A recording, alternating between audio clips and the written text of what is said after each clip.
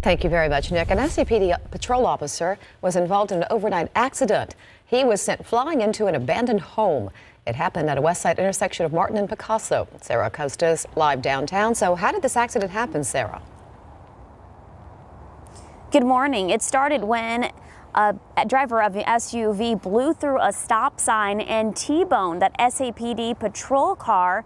And this actually, uh, this actually because of this accident, it caused that SAPD patrol car to soar into an abandoned home on the west side. The officer trapped in his car, firefighters having to cut him out of the vehicle.